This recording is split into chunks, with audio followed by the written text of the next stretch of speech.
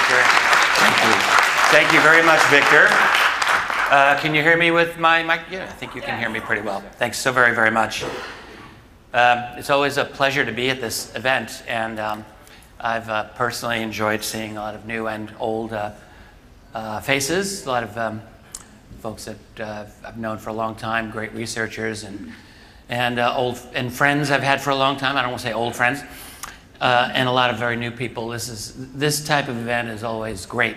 Um, for those of you who may be new to the uh, going to conferences based on the UFO subject, uh, you may not have known what to expect going in, but now you know. You find a lot of other people who are just like you, and you can talk to them and not feel like you're a pariah. So uh, I think I need to be very careful with this little cord here. So, um, so this is a fairly new lecture that I've been developing. Um, if, you're, if you're familiar with anything that I've done in the past, and you, you'll kind of get the idea that I don't, I'm not really like a, I don't do breaking news stories in the UFO field, not too much. I'll talk about contemporary events, uh, but I'm, I'm a historian, and so I like to uh, look at the long view. And what I do in lectures and in my books, for that matter, or articles even, is uh, I like to explore. That's really what I do. So I like to explore ideas through facts and through uh, philosophies and through uh, scenarios, and to try to understand. That's all that I've ever been doing in the last 20 years in this field is a series of explorations to try to figure out what this, this phenomenon is. That's really it. It's that simple. Um, along the way, I, I, asked myself a lot of new questions um, dealing with the cover up of the phenomenon, and there is absolutely a cover up. And with um, what is the nature of the secrecy? How does it work? You know, when you talk to people who are in the outside world, the muggles, they, they don't really get it. They think it's impossible. They actually believe that journalists are out there trying to break this story. Well, there are journalists out there trying to break the story. They're just not part of the establishment news media for the most part. And so it's hard for a lot of people out there to understand just how crazy this system is. And I'll just give you a quick little example of what I mean before I get into the theme of the cost of secrecy. Um, you know, many, many years ago when I first researched UFOs, um, I've said this a number of times, but I really believed that I could do this for two or three months at the most and then get out and satisfy all of my questions. Like I thought, uh, all I want to do, I don't want to get into any weird stuff. I just want to research is there a UFO reality? I actually thought this. Like, no abductions, God forbid. Crop circles, are you kidding me? Animal mutilations. I don't want to go. I really told myself I did not want to go there. I only wanted to know this one little thing. Was there ever a UFO reality that was acknowledged by the United States government, military intelligence community? And if so, as people had claimed, then where is it in our official history? Why was it never in any academic history book that I ever read? Uh, so I started out with some very conservative assumptions about this subject, you know, and um, I very quickly realized, ah, there is a reality. The government, if you want to call it that, the military absolutely took this seriously. And, and then what I realized is that that opened up an entire, it ripped down my old paradigm of what I believed was true. Back then, it was a little easier for me. I was just young enough, I was in my 30s, that my, you could say maybe my worldview hadn't completely, totally, forever solidified. Because I feel that this often happens to people. You know, you get to a certain age and, and you, you more or less stop wanting to reinvent your worldview. Unless, unless you're experiencing ripping open that worldview and then you keep doing it for the rest of your life. That's, that's actually what I do, and I think what many of you do now. But um, so all I wanted to say is that the, um, this phenomenon has forced me, and I know it's forced most of you out there, to rethink certain really fundamental things that you grew up thinking were just not to be questioned. And that's what it is like for the large number of people who are not involved in this area of study. And that goes for people who call themselves researchers in the so called alternative community, because most of them uh, run away in terror at this subject as well. And it's unfortunate because they would have a lot to learn. Uh, in fact, they really are only ever going to go so far without understanding this phenomenon. In fact, uh, when I talk about $21 trillion that have uh, apparently gone missing from the United States Pentagon over the last two decades, you'll see. Like, they can only go so far. And then you have to confront the reality of this phenomenon that we call UFOs. And it's, it's, it's always amazed me when I encounter researchers who uh, are willing to distrust the government on every single thing except UFOs. Like, what, what is it? Like, this blind spot is a severe blind spot. You know, they'll, they'll question U.S. motives going into all the nations that it destroys. Okay, good, you should do that. They'll question U.S. motives um, relating to some, um, you know, um, MK Ultra people will now they'll go down that road. They'll talk about MK Ultra because it's it's confirmed mind control, and a lot of other things. And some will go into 9/11 a little bit. They'll research that, but UFOs, no, they run away. They run away because they themselves have allowed themselves to be manipulated by the CIA and, and U.S. intelligence propaganda machine. And I'll just remind you if you don't already know, that the phrase conspiracy theorist itself was a creation of the CIA. That's the truth from 1967. And they created that phrase, just so you know, as a way of derailing and disabling an alternative theory about the assassination of John F. Kennedy. Because in 1967, there were people who thought, you know, the official conclusion that you're coming down to doesn't quite make sense. There's problems with it. And the CIA was aware of this. And they, um, being experts in propaganda that they have always been, coined the phrase conspiracy theory as a way to use as a smear against people who question the officially sanctioned morality, uh, uh, uh, reality. And it's been used ever since. So when you find someone who uses the phrase conspiracy theory as a way to smear you, you can actually say, good for you, you're just doing the work of the CIA, which of course will confirm to them that you are a tinfoil hat conspiracy theorist. But the fact is that it is true. It's a creation of the CIA. Look it up, you'll see it's, it's exactly true. It's insidious the way the propaganda works.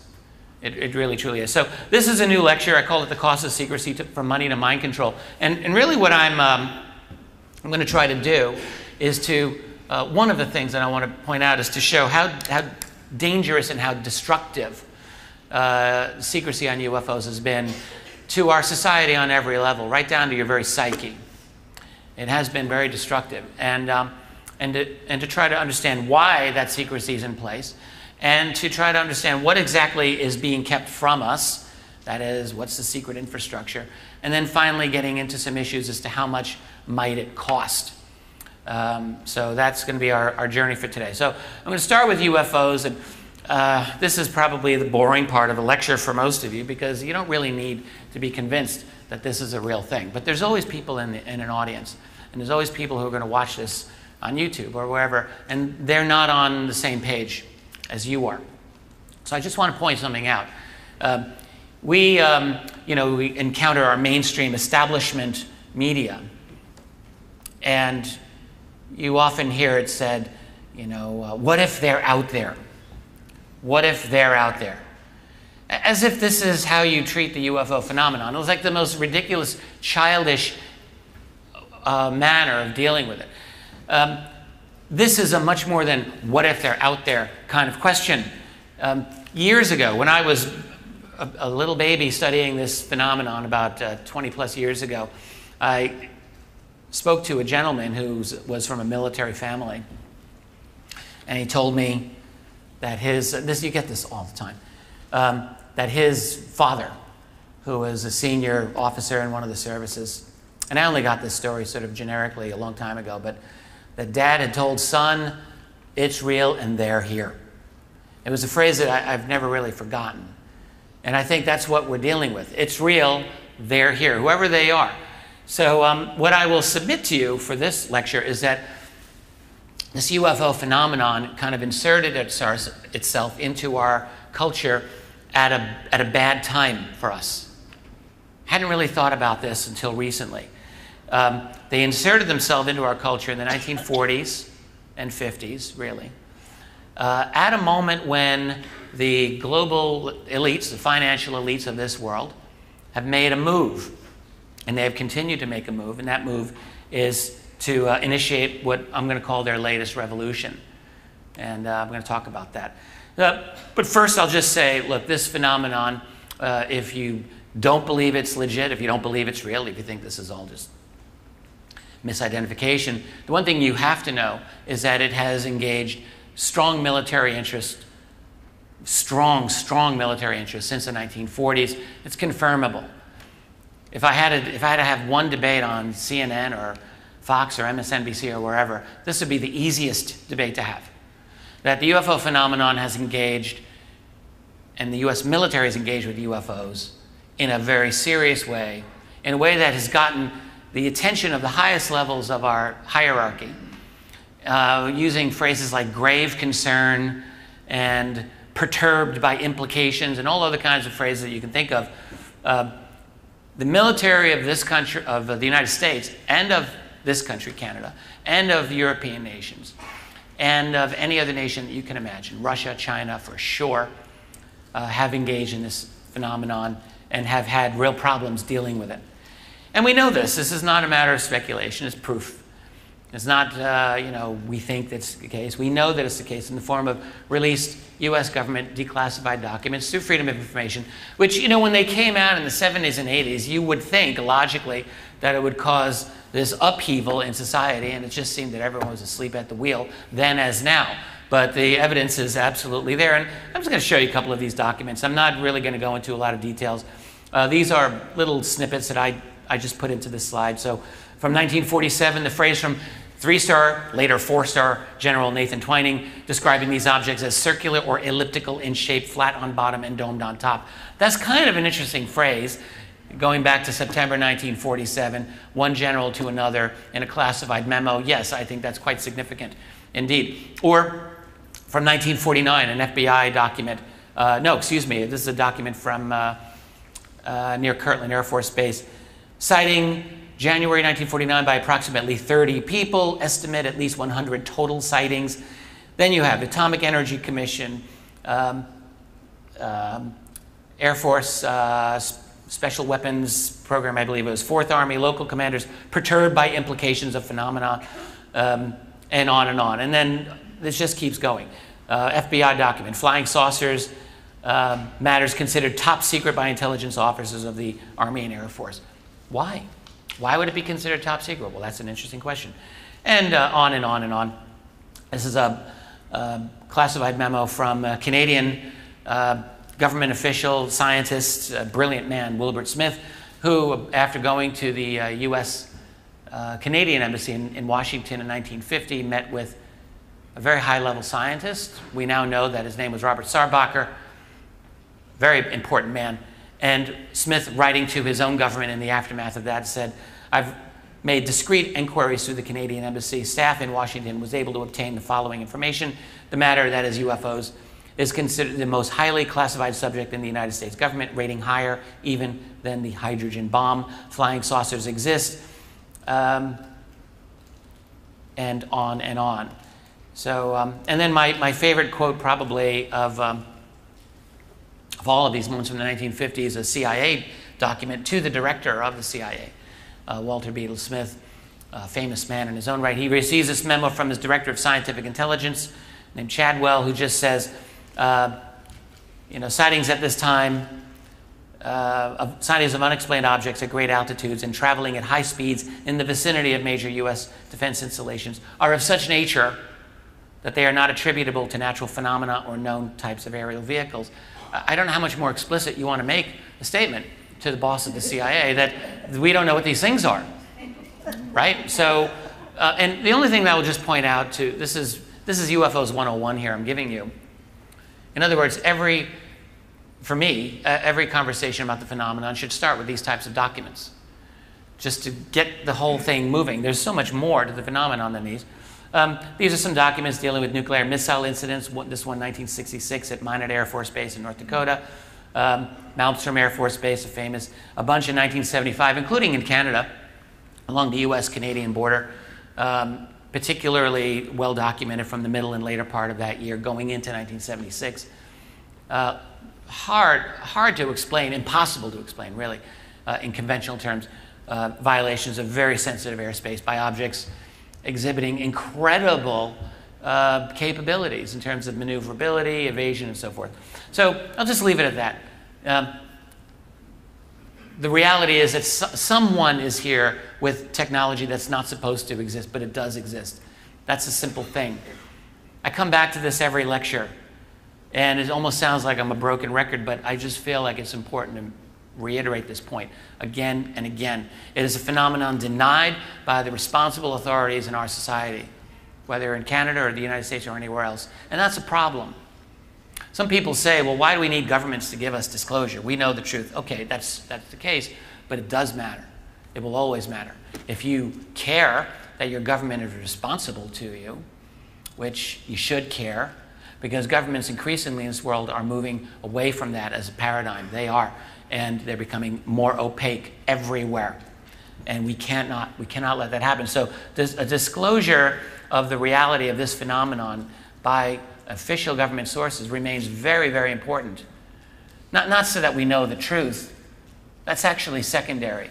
The main reason is so that they are responsible to us. That's the number one reason. Because I don't know about you. Yes, that's worth applauding. I'm not interested in a disclosure from what, in all intents and purposes, is a fascist government. I don't want that. Uh, that's not the kind of disclosure I'm interested in.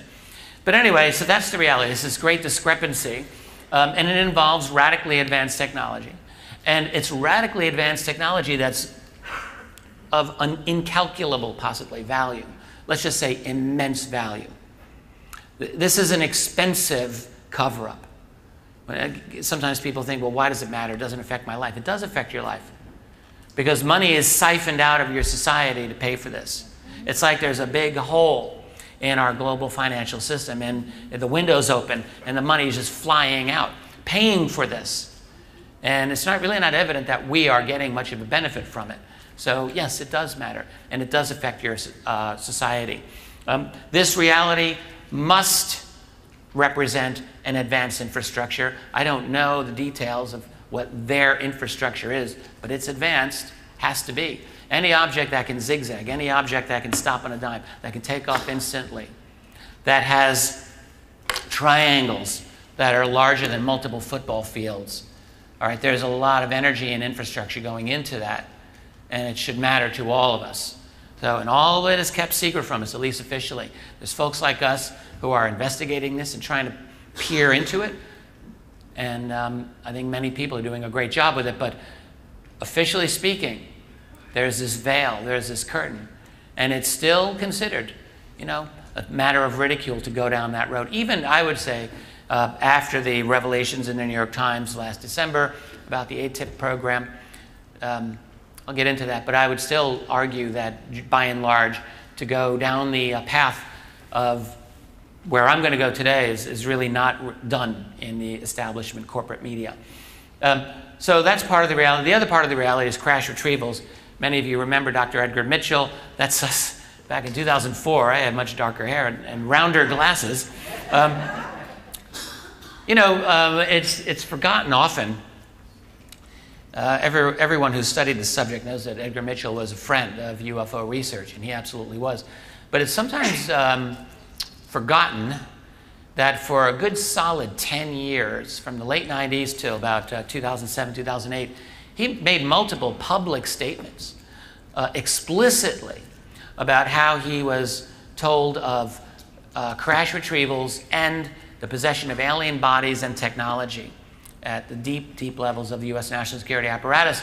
Uh, for a man who was on Apollo 14 to make such a statement, the sixth man on the moon, at least by the if, you, if, you, believe they went, which I do believe they went, and uh, maybe, the, but I think there were black programs as well that uh, who knows how extensive those are. But Edgar Mitchell was an, a very amazing man, uh, a brilliant man, and a good man.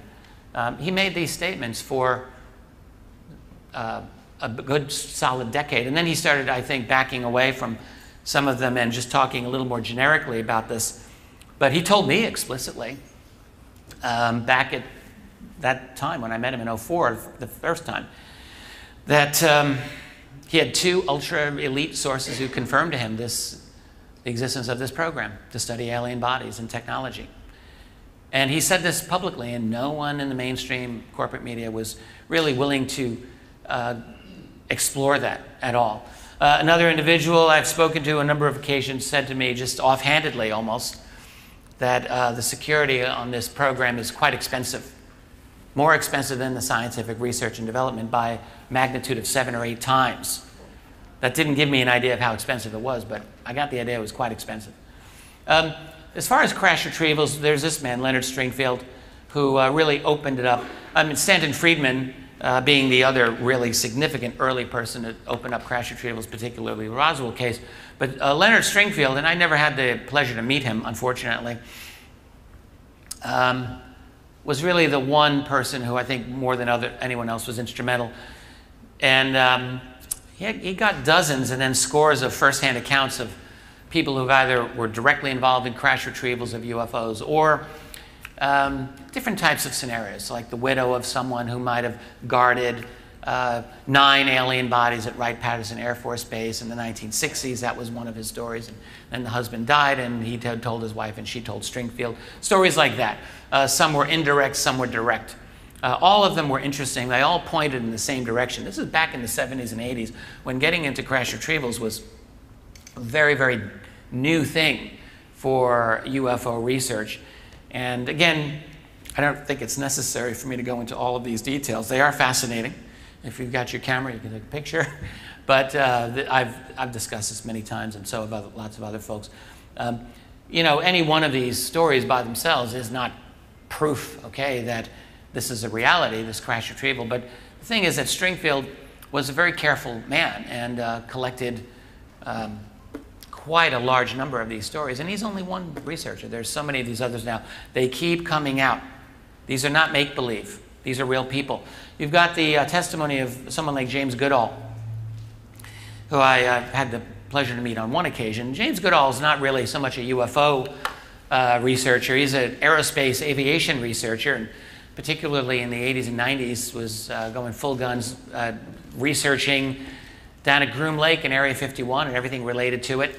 Uh, developed a lot of very good contacts at that time and uh, talked quite, quite explicitly about at least eight black programs that he knew, that is, ultra secret programs flying out of Groom Lake, not counting the B 2 stealth bomber, which everyone knew about, uh, one of which was a, a, silent flying triangle. So even in the 1980s, when Goodall was getting these stories, we're getting evidence of our own infrastructure to try to replicate or to create its own version of flying saucer technology. Again, it doesn't count as proof per se, but it's interesting. And you have a very responsible journalist digging into this, and this is back in the 80s, using unconventional technologies, as he put it. Uh, you know, he had one contact who basically said, look, what we have out there is better than Star Trek, Star Wars, or anything you can see in the movies. Uh, every time Goodall would ask these people to expand on what they had just said, and they would always say, nope, that's all I'm going to give you. Um, but these were very, very compelling accounts. Uh, we have things in the Nevada desert that would make George Lucas envious. Uh, back in the mid 80s, they were saying this better than Star Trek. In the mid 1980s, that's more than three decades ago. There's the story of the alien reproduction vehicle. Many of you know this story pretty well, some of you may not. In 1988, November, uh, right after George uh, Herbert Walker Bush Sr., George Bush Sr. won the uh, election against Michael Dukakis, there was an air show uh, that uh, a gentleman named Brad Sorensen attended. He was going to go with his friend, uh, aviation illustrator Mark McCandlish, who couldn't go at the last minute. He had some deadline to do. Sorensen goes with a top level defense official who was a friend of his family and said, I'm going to take you to the real air show. And they go to uh, Lockheed's big hangar facility described as guarded by guys in M16s. The top level official says, Ooh, okay, don't say a word and I'll, I'll get you in. They get in, and on one side of this huge, uh, this curtain dividing this huge room, are losing bids, but still extremely impressive craft for major uh, defense contracts. And on the other side of the curtain were three objects hovering, according to Sorensen. And uh, as he described it uh, to other investigators over the years, he said, I was like wide awake, uh, examining these things very carefully. They were not suspended by anything, there were no cables, they were just hovering. There was a four star general at a podium just like this, talking about these as alien reproduction vehicles in November of 1988, stating that they had traversed the solar system. Sorensen looked at them as they said they looked like they'd been run around through their paces. They uh, looked like they'd been, you know, traveling quite a bit actually, and um, stated that uh, what was it? So oh yeah, so they the general said that they ran on the vacuum. So this is shortly a year before the first uh, scientific paper on zero point energy was published by uh, Dr. Hal Puthoff, so also known as the vacuum. So do these things, did they run on the vacuum? Well, maybe. Um, that's 1988. And, you know, we've got very good evidence from journalists like George Knapp and people like Linda Moulton Howe, who's here, and uh, a lot of other folks who have talked with um, individuals who've had experiences in Groom Lake and uh, areas related to it. Uh, actually, I say here George Knapp developed contacts with more than a dozen Area 51 insiders. The number is more like two dozen, who have corroborated uh, various elements of what Bob Lazar had stated back in 1989 uh, 1990. That is, that uh, there were alien discs being tested. And all of Knapp's people just uh, bailed out at the last minute before they went public. They were not willing to speak publicly. But, um, but these are real people.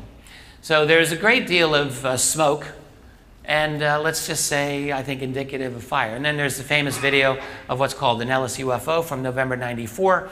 This was leaked to the TV show Hard Copy. It's certainly a legitimate video. It's been analyzed by a number of analysts um, because it provides, uh, there's data uh, on that video that can be studied and give you the altitude and azimuth and speed that this thing is going at. It uh, did some extraordinary maneuvers, for sure. Uh, making right angle turns at 140 miles per hour, in, uh, going as slow as 15, 20 miles per hour, and as fast as 500, very, very rapidly. Um, you hear uh, uh, people in the Nellis uh, testing area wondering, what is that? They, is that a helicopter? It's not a helicopter. What is it? So uh, it's presumably something that we were making 20, almost 25 years ago. And it's still not officially out there. You got Gary McKinnon and his evidence. Um, really gotten to chat with Gary uh, lately, and he's an extraordinary, great guy. And of course, Gary McKinnon was um, wanted for extradition by the U.S. government for a full decade because he um, was looking for evidence of a UFO cover-up in the 90s and the early 2000s, and got into the U.S. Space Command site back in uh, 2000 and found a list of officers' names, what were called non-terrestrial officers, uh, a program known as uh, Operation Program uh, Operation Solar Warden, uh, which seemed like a secret space program to him, and it does to me too. Um, he was arrested in 02 and lived uh, in danger of extradition for the longest time. The U.S. really tried to destroy his life, and, and um, Gary was able to uh, get out of that. The British government, finally, the UK government, began to come to his defense a number of years ago. Uh, Oh, yes, I included this little statement. This is a quote from Ronald Reagan's diary from the mid 80s. And some of you know about this. He just writes Lunch with five top space scientists. It was fascinating. I learned that our shuttle capacity is such that we could orbit 300 people. Well, we don't, we've never officially orbited 300 people, President Reagan. So, what, where did that capacity go? It's just worth looking into. Um, uh, a lady that I uh, corresponded with for a little while um, is what I would consider a real expert in uh, military drone technology. And, uh, and I say this because she uh, lives um, in the state of Arkansas in the US near a base, military base. She has, uh, I think, Generation 3 or Generation 2 night vision, that Gen 3 night vision, and has been studying uh, what she believes are military drones in her her airspace, I guess you could say, and she's looked at them for quite some time, um, and has, as a result, done many FOIA requests on U.S. military drone technology. And she's got stacks of papers on this. Knows a lot. She's very knowledgeable about it. Uh, her opinion, incidentally, is that yes, there is a genuine non human UFO phenomenon, but her, her sense is that the large, large number of what people think are UFOs are simply uh, advanced drone technology. That's her opinion. Uh, she wrote to me on one occasion, just said there are all kinds of craft up there military research and development drones, drone triangles, drone triangles, and even a huge rectangular craft that she saw in daylight. She writes, I've seen these craft cloak. I saw one cloak over my house at treetop level, and I tell you, it could not be seen at all, and I was only about 50 yards away. I've also seen these drones from less than 30 feet, and there is no movement, vibration, nothing. It looks as though they are glued to the sky. So, um, so what does this all look like? It seems to me that just based on this bare bones preliminary information that I'm giving you here, uh, there's a UFO reality. There's a major effort to conceal that reality. There's a major effort to replicate that UFO technology. And uh, I'm going to now suggest to, or I will suggest, to go off world in some capacity. So uh, let's keep moving on here. Uh, all of this costs money, and uh, it cannot openly come from your tax dollars because it's too much. And also, if it, it openly comes from tax dollars, there goes the secrecy. so, by definition, the UFO cover up has to create an end run around formal legal uh, procedures that are in place uh, that free societies and transparent societies are supposed to have so that you can actually have accountability, financial accountability. So, it requires a black budget. That is, you know, money that's black, you can't see it, right? That's a black budget. And it requires corruption of the system. The UFO cover up has to uh, function on a corrupt system. It can't function any other way. Uh, so the question is if it's not all uh, going to function on your tax dollars, which again, it's too much, even, even within a black budget, I'm going to suggest, um, how do you get the money? Well, that's a question for creative accountants.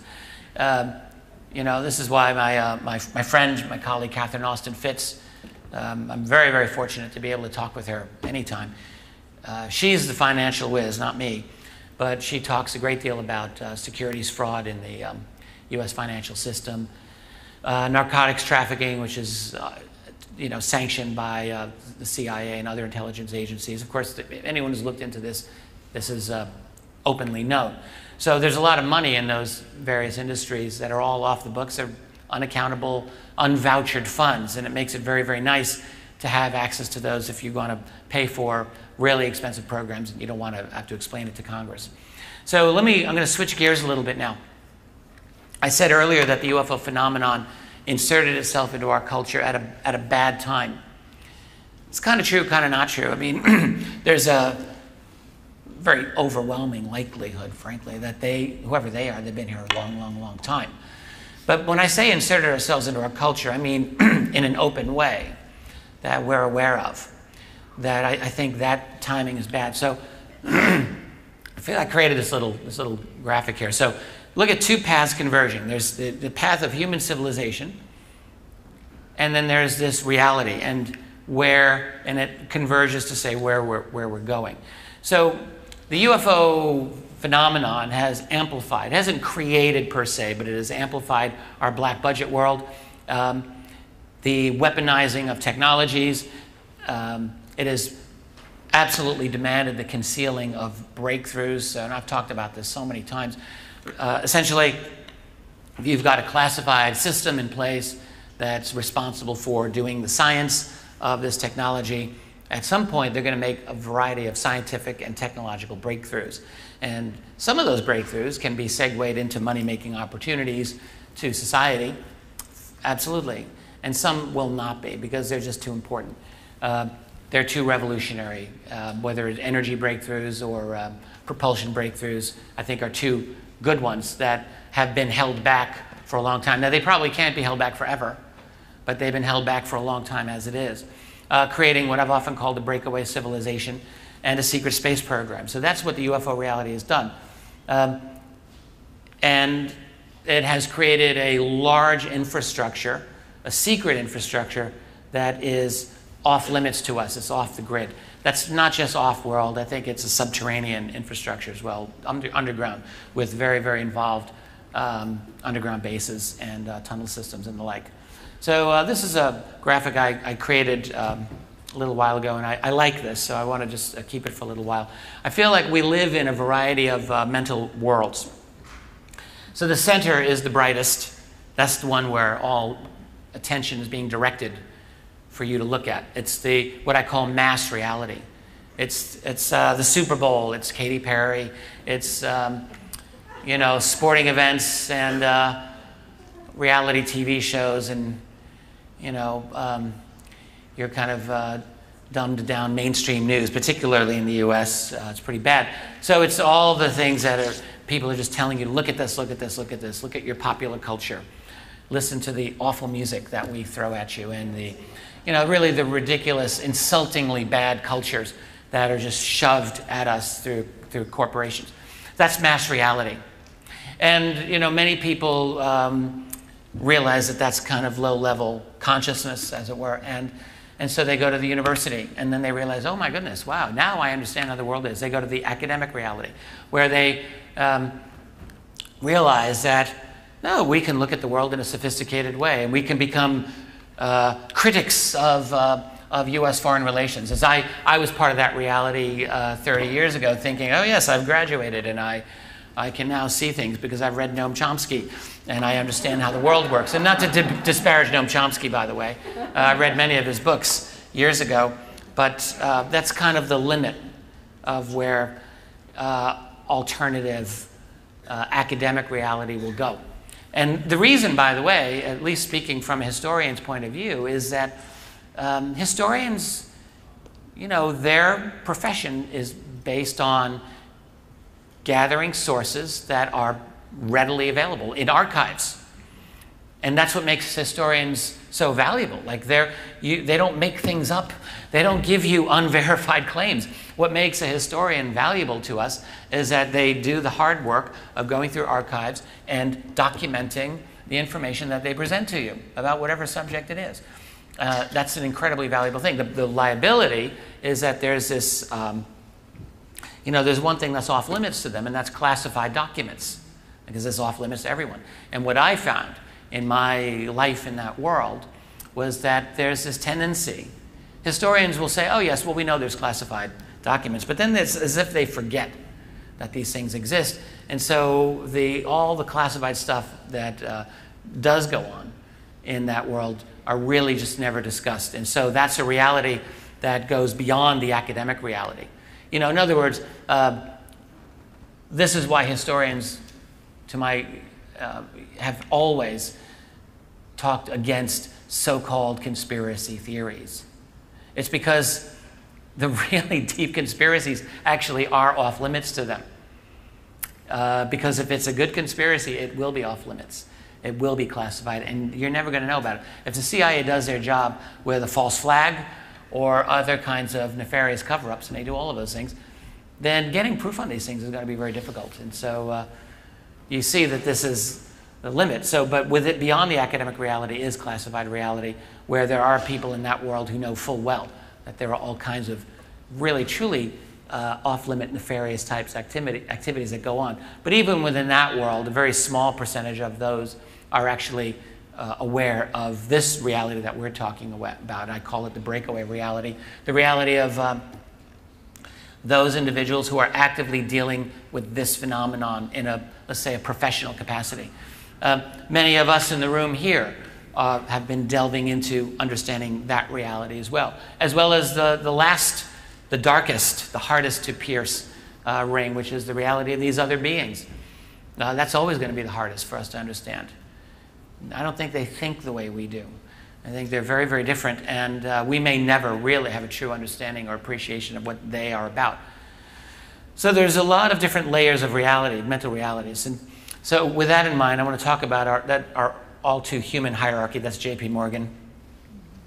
Uh, I'm going to suggest something to you, which is that uh, the existence of a middle class in Western civilization is a historical anomaly and doesn't have to exist indefinitely, and, and it, might be, it might be slated for removal uh, within the lifetimes of many of us here. Um, the fact is that those people at the top of our human hierarchy have always wanted to live like gods, always. They've always thought of themselves like that. This is the truth. Whether um, you're talking about medieval kings or Chinese emperors or any other place, any other type of uh, you know, Egyptian pharaohs, uh, the people at the top of our hierarchy have always seen themselves as way, way above the unwashed, ignorant rabble that they have ruled over. It's always been that way. It's never been different.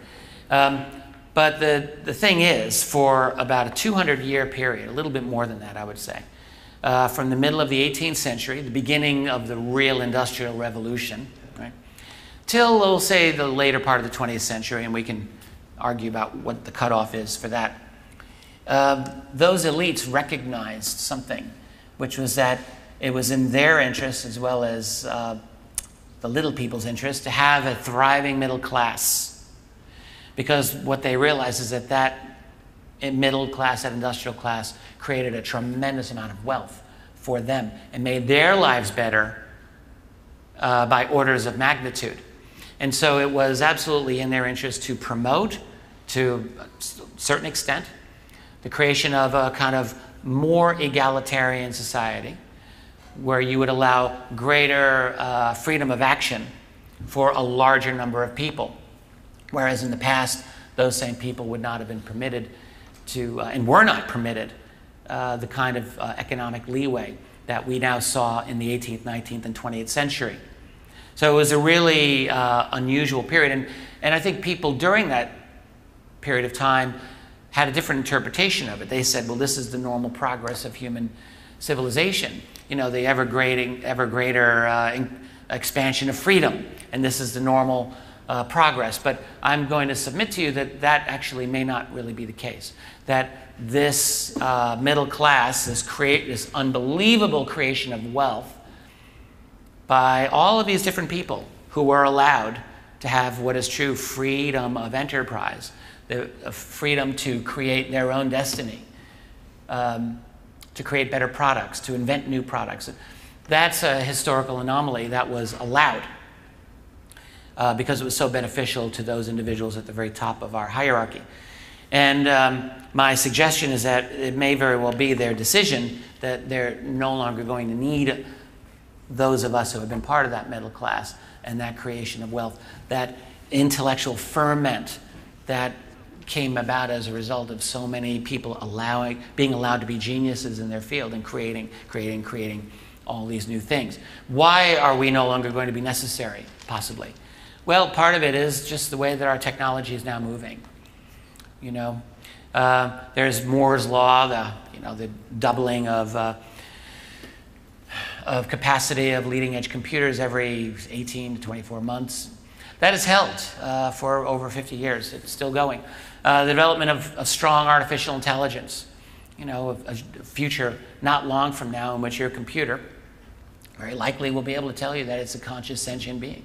And you, you may very well be likely to accept those claims, even if you know at some level its consciousness is not the same as yours. It's going to seem like it, except it'll seem a lot more intelligent than any of us. Uh, then there's quantum computing and molecular computing. I should include that up on here. Uh, these are new types of well, quantum computing we've all heard of, I think, um, that are revolutionary forms of computational um, capabilities. And then there's nanotech and robotics and next generation 3D printing and organic 3D printing, for goodness sake. And there's CRISPR technology, that is gene editing, uh, brain mapping. You, you start thinking about how these, these sciences are going to be interacting with each other. I, I think it's an impossibility for us to foresee all of the different ways that they're going to be able to enhance each other.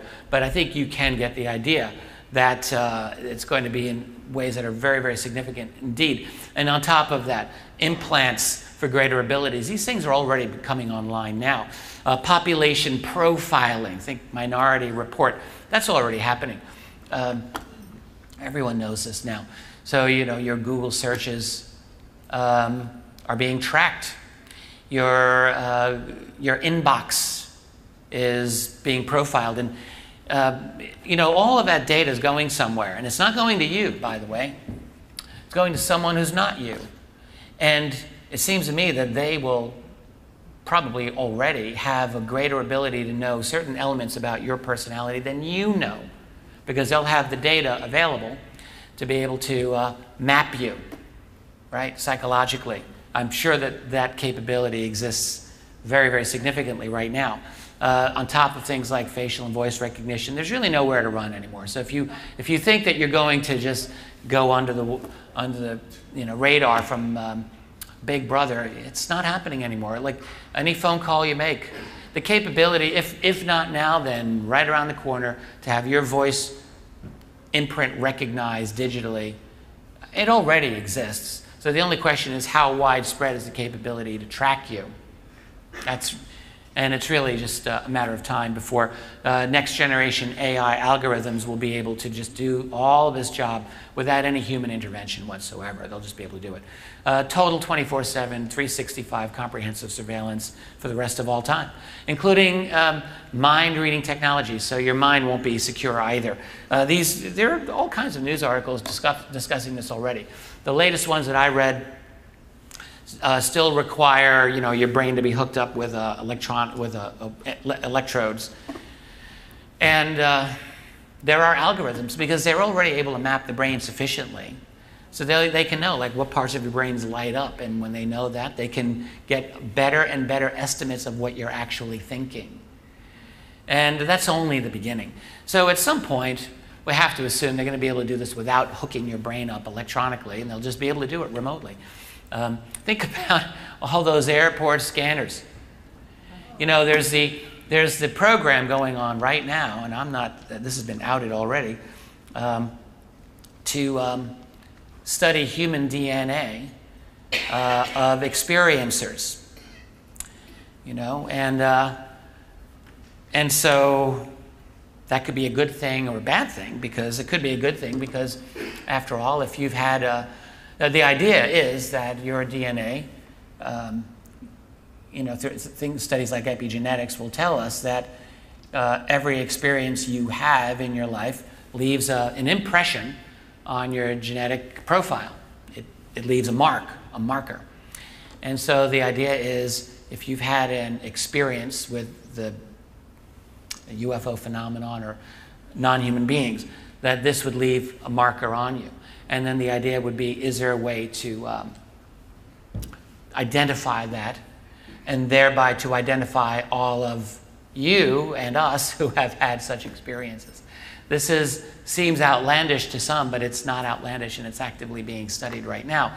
Um, there's a lot to say about this, actually, and um, I don't know how much it's really relevant for me to get into here, but the kinds of capabilities to read people are just going off the charts. And my main point here, and I'll just point on my last little bullet item ultra fast, ultra intelligent machines, robots, and virtual entities. So, you know, virtual assistants. Um, people's jobs are just no longer really going to be necessary. Uh, they talk about the robo apocalypse coming, and it's not the Terminator coming to kill you, it's the Terminator coming to take your job away. And we really have to ask ourselves, what are people going to do to survive in another 20 years? This is why uh, a lot of the AI people are talking about, you know, we need to have a universal basic income so people can survive. And I can understand that because it's a, it's a valid question. What will people do? Of course, you can just keep in mind universal basic income means you will never ever have independence ever again for the rest of your life because you know you're going to be dependent on a state authority for your very uh, livelihood uh, for your very life. This is the world we're going into. So what it means is that all of the physical and intellectual labor that for the last 200 plus years that has gone into creating a world of unbelievable wealth, which is the world that we are living in, compared with the world of two centuries ago. I mean, there's no comparison.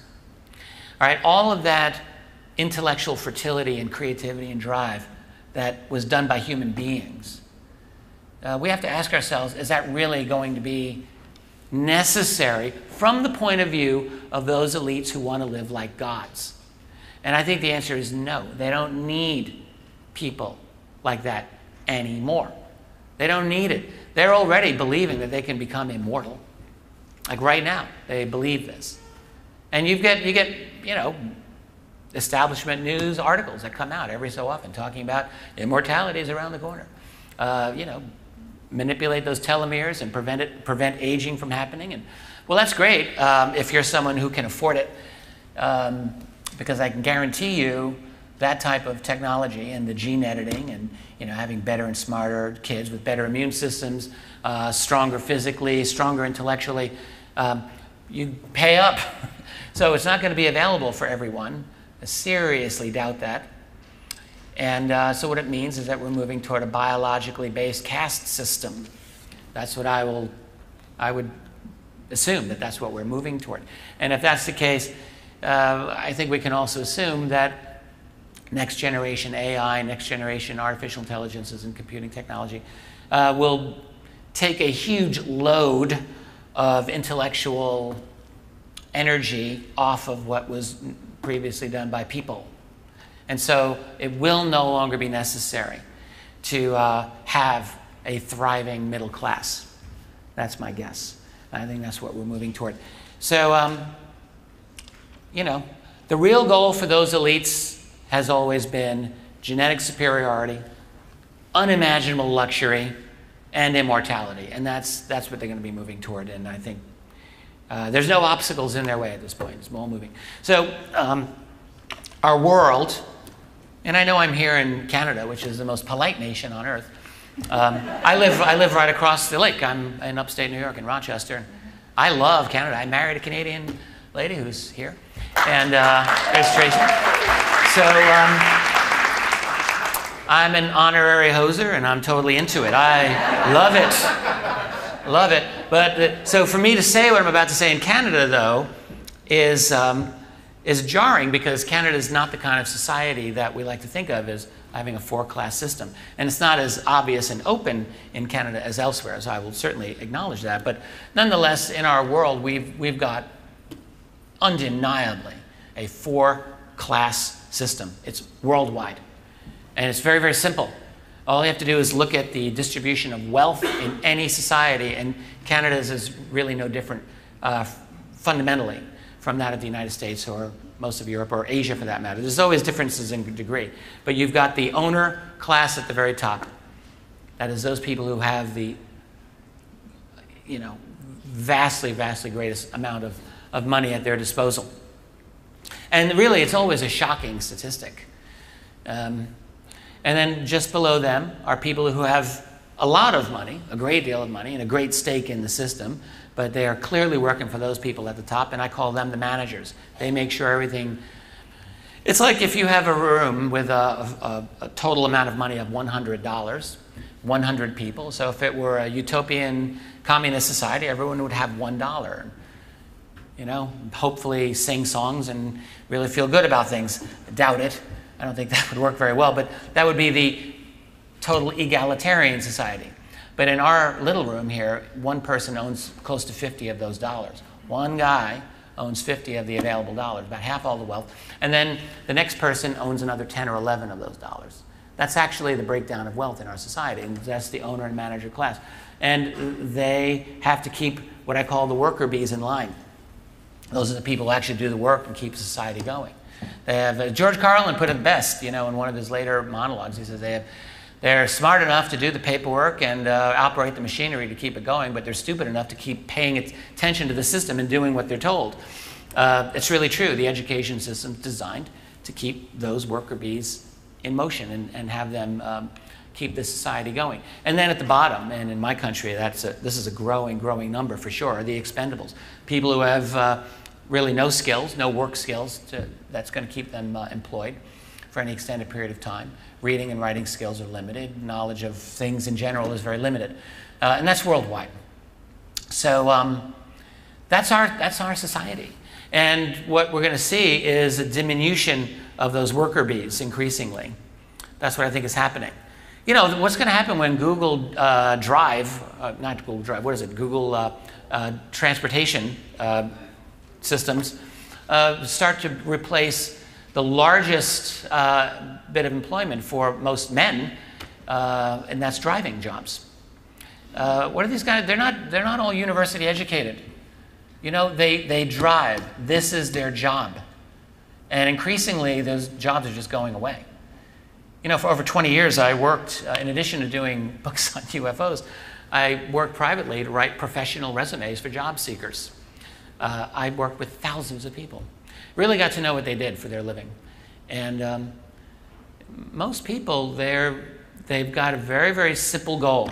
They've got a job, they want to keep their job. And I dealt with a lot of job seekers who were, their jobs were just outsourced to other nations. And it's a really hard thing. It's a crisis for many people to see them lose the job that they've had for 30 years and not know what to do when they're 55 years old. And, um, but you're going to see this increasingly and exponentially faster and faster as we, move, as we lurch into the future. So what we're really seeing is it's a new system of royalty that is developing on this planet, and in all but name. Uh, they're never going to call it that way. Uh, and it involves a breakaway, not just civilization, but a breakaway financial structure that is, um, where these individuals are really not bound by rule of law with their financial wheelings and dealings. Uh, what we're definitely seeing is the end of nations increasingly. This is absolutely a critical goal. Um, and if you're one of those people at the very top, it makes sense. You want to have that. You don't want to, if you own a transnational corporation, you need your, everything to move along very smoothly across nations, and you don't want uh, active borders. You want things to move uh, easily for you. Uh, and there's a certain logic to this. And let me just take a minute out and talk about globalization and the New World Order. Uh, it's not necessarily the case that a New World Order has to be evil, it doesn't have to be. Uh, you know, a lot of people forget that the idea of this originated after the bloodshed, mayhem, meat grinder, horrific nature of World War I, which destroyed uh, an entire generation of European men. They were just, um, that's why they call them the lost generation. And it was such a traumatic thing that out of that, many individuals said, war, we just can't have war anymore. It's absolutely immoral. We must not have it. We have to have rule of law internationally, and we need to get rid of this uh, primitive nationalism that's causing nations to create enemies out of each other. And so it's an easy concept to understand and to support. The, the issue is not is, uh, is globalization a, good or a bad thing because I, I, suspect it's an inevitability based on our technological path. But the question is, how is it going to look? Um, and what, by that, what I mean is, is it going to look like something that approaches uh, ruled by the people or not? And what I think is it's turning out to be the latter. So you've got a globalization that's dominated financially by a very, very small group of people and where uh, the decision-making capabilities of individuals in their nations is increasingly is being taken away from them. So that's the kind of globalization that I think a lot of folks are not happy with, myself included. Um, we are moving toward a world of total financial control over people, total bureaucratic control over people, total legal control over people, total intellectual control over people. You see it more and more every day. Uh, and to create a new global paradigm. And this is not a world based on freedom, it's a world based on rigid control whether you're in the West, what we think of as country with Western tradition or not, doesn't make any difference. That's the world we're moving into. Um, I wondered if I should keep this slide or not. I created this for another lecture. I do like it. This is um, one way that I think uh, to visualize how the uh, world's secrecy operates. So, in other words, there's no nations anymore. They're kind of a myth. Uh, they do sort of exist, but they sort of do not exist. And what we have is a trans national, global financial and political elite that works through, in many ways, through the United States to um, strong arm the rest of the world. So, uh, US black budget agencies, the um, surveillance of the entire world, the NSA, the NRO, that's the National Reconnaissance Office, uh, US military, all of these are used as weapons by a global elite to get the rest of the world online with, uh, with the agenda. Uh, they call them partnerships with other nations. Um, so now I want to talk about methods of control. And by the way, I'm going to come back to uh, this uh, phenomenon we call UFOs. So let me just check my time. I've got about 45 minutes. Good. So there are different ways that we, the people, are controlled by this encroaching system. One is financial. Uh, I, I, remember, uh, I, you know, I was too young to appreciate the 60s. Some of you aren't. Um, I was a kid. Talked to a lot of people who went through that. And um, so in my uh, town where I live in Rochester, New York, I remember chatting with a guy who he, um, he said, you know, it was really easy in the mid 60s to quit high school, go to California, take acid for like three years, and then come back and get hired by Eastman Kodak for a job that would pay my mortgage. Like that happened. And it happened many times. Because back then, the United States and Western economies were going full speed ahead. And it was great. Like you could actually afford to drop out of the system for a while, hang out at a commune, grow your hair long, and then you come back. And uh, did I drop something here? What is this? Um, and then come back and get a job and you know have a life. And it would pay your bills. Like well those days are gone. That doesn't exist anymore. Uh, absolutely doesn't exist. So there those you don't see that because it can't happen. The, i mean in europe you've got structural unemployment that is so frightening uh, young people uh, unable to leave their homes. And you see it in North America as well. It's happening more and more and more. So economic insecurity is very, very, very big.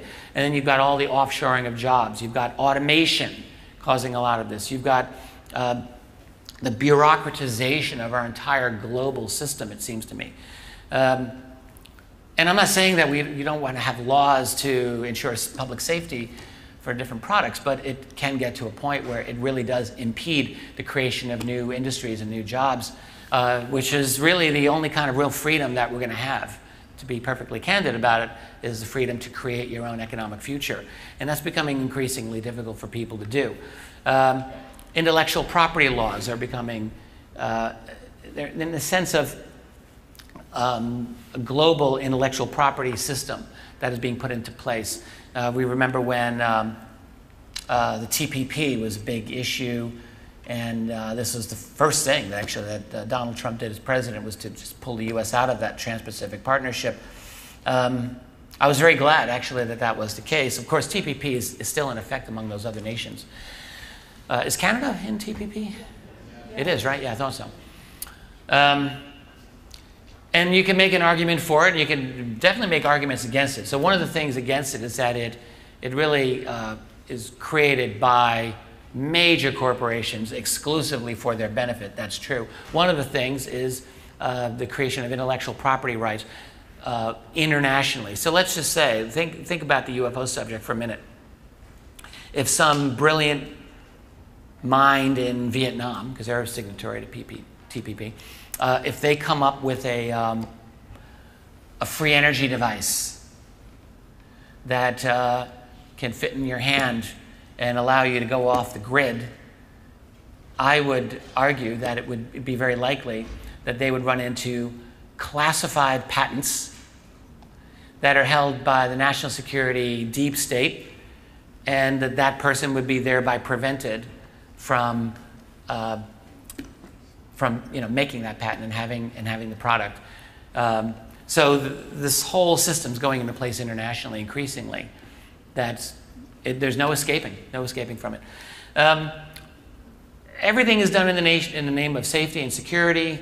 Uh, all of these laws, all of these uh, excessive, you know, monitoring of our lives, uh, but all of these favor large corporations. Certainly, uh, in, I live in, in New York State, and it's very difficult to start a business in New York State. It's very tough. Um, so anyway, that's financial control. Then another method of control is surveillance. And this is an obvious one. They track you through your computer, every website you go to. It's very tough to escape that these days uh, through your email. And then there's, of course, uh, every increasingly many street corners video and uh, increasingly audio surveillance. There's monitoring of you on social media, your Facebook page. Uh, this is really, really a huge thing now. Uh, job seekers have to be very careful, right, what they have on their social media feed because prospective employers and current employers will sometimes monitor that very carefully. So again, it's another level of inhibition over the population, another le level of control over the population. All these new uh, apps on our phones to make you more connected. Uh, yeah, that's true. They'll make you more connected, and they'll also, it's another uh, rope around you to keep you uh, controlled. So, uh, for example, the cell phone apps that'll monitor your, your physiology. Um, data conceivably can be going somewhere. Now, there may be laws in place to prevent that, but the question is are all of those laws actually followed? And is there, are we really sure that no one is getting your financial information on your, your banking app, for instance? Well, maybe. Maybe for now, I don't know. Um, you know, we already had the example less than a decade ago of the, the haircut that was given to the nation, uh, to the uh, island of Crete, by uh, government going into people's private bank accounts and taking their money out um, as a way to pay for, pay for the debt of, uh, of that region. So uh, the cell phone apps to monitor your location, uh, all of these are ways of keeping us more and more under surveillance. And there are laws in place to protect us from some of these things now, but again, it's how long and how effective are they really? Is really the question to ask. And I don't have the answer to that, but uh, I think it would be foolish to assume that even now all of these laws are actually meticulously followed. I just seriously doubt it. Um, so, you know, surveillance is, is everywhere, and it, there's no escaping it anymore. And uh, I wrote here ultimately microchips, and I actually wonder if maybe that's just old school. I have a feeling that uh, there's, there's a solution that's going to be much more sophisticated and slick uh, than microchips. So uh, I don't know what it will be. Maybe an aerosol mist or maybe it will be, you know, your cell phone basically is your chip right now. Um, so we're being monitored and surveilled uh, at all times. Uh, and then there's fear. Fear is a very, very major way to control us. Um, you know, I'm doing a, a significant study of uh, false flags. I'm still getting my book done on that. And uh, I argue that we live in an era of false flags. That is a false flag. That is a horrible thing done by a, an, an agency, a government often that um, is traumatizing to one extent or another, fear inducing, uh, that is then blamed on another party, another group, as a way to justify actions that could not otherwise be justified. And uh, it's part of the world that we live in. It's a world in which we are ruled by fear increasingly. Um, in the US, Canada too, really, uh, not, not really radically different at all. Uh, News is very, very tightly controlled. Uh, it's the, the, fact of creation, creating reality by omission, I think, is the most significant way to do it. So things just are left out, um, and other things are inserted in. And there's always some demon that you got to worry about. You know, a decade ago it was uh, Saddam Hussein. Hell, 20 years ago it was Saddam Hussein. Then 10 years ago it was Saddam Hussein again. And then it was Muammar Gaddafi. Uh, and now it's Putin. And who's going to be next? Well, it'll be whoever whoever's the guy who uh, stands in the way of the hegemony of a very very small financial elite. That's the next enemy that you're supposed to be afraid of.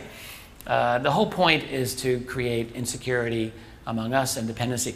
There was a, a program done in Europe during the Cold War known as Operation Gladio. It's a false series of false flags done by uh, CIA connected, NATO intelligence connected uh, individuals who um, would blow up train stations, kill lots of people, and blame it on communists or blame it on terrorists.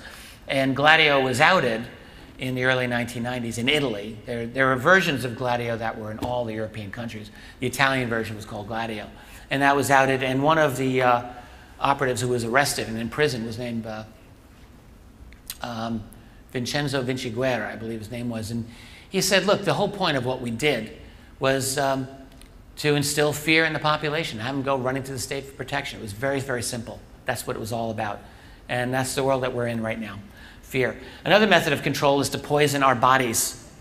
Uh, I'm absolutely convinced that this is a significant um, it's uh, an attack on humanity, to be honest with you, through toxic foods, through the pharmaceutical drugs that uh, especially young people are having this foisted upon them. And look, I'm not saying, I'm, I'm a parent, I have two uh, young adult children, and I understand the difficult decisions that every parent has to make in raising their child.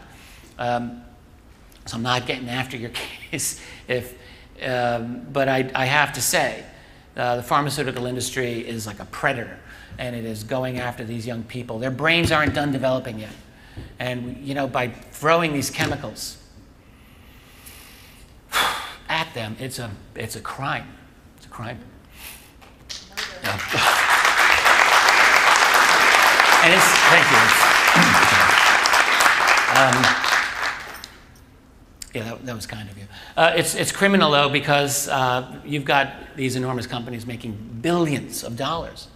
And, and I know the argument, it helps some people. Yes, it does, but not everyone's the same. Everyone's body chemistry is different.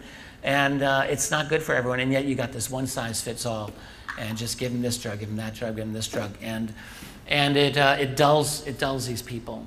And you're, you're, not, you're not done developing. Um, neurologically, your brain's not done until your late 20s. So by giving these young people these drugs, I mean, who knows what, what it's doing to them. Um, and then you've got, uh, was just, we were, Tracy and I were in Australia recently and, and chatting with a, a man who really, I think, is an expert in electronic frequencies and the dangers of 5G technologies that are right, coming right at us. Better be careful. Uh, this is, I don't think this is going to be very good for us at all.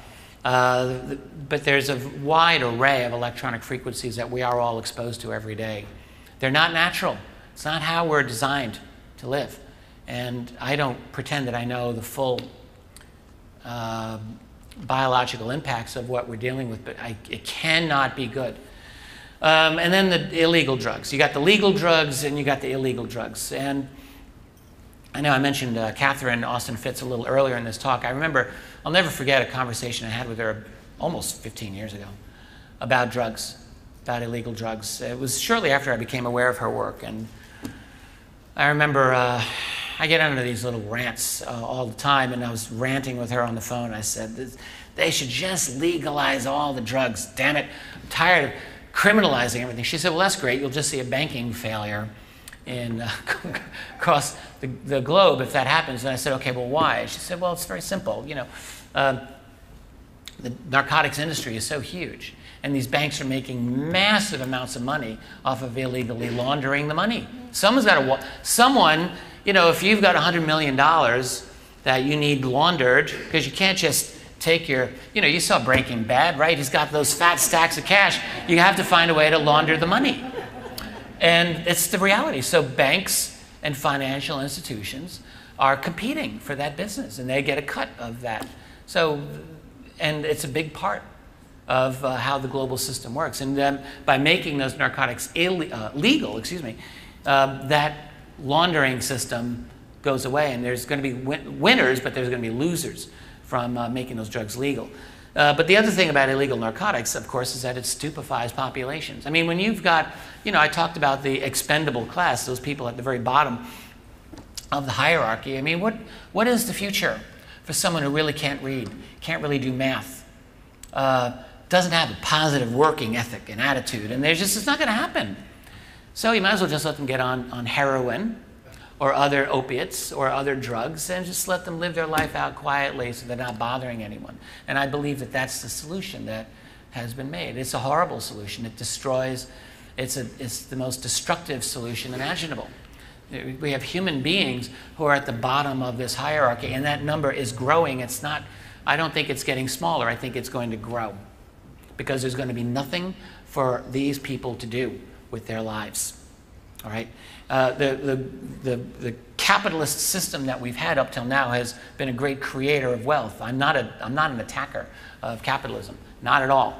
I think uh, it's been very unfairly attacked, actually. But um, I think we're moving into a new phase of our civilization in which, um, you know, as I say, the, the people may not be considered necessary anymore. So, all the chemicals that we're ingesting, all of these things are poisoning our bodies. And the fact is, it's really going to be tough for us to, to be intellectually on our game and with the energy necessary to confront this system if our bodies are unhealthy. And that's just the reality, and that's what's happening to so many of us. Uh, another method of control is to, um, let's say, erase our identities.